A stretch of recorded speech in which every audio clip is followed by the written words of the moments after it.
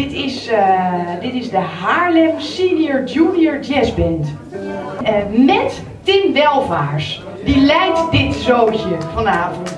Dit is Tim Welvaars. Die speelt geweldig mondharp. Hij is de enige serieuze leerling van, van Toets Tielemans, mag ik toch wel vertellen. En dan hebben we op, op gitaar vanavond Evert Scholten. Ja.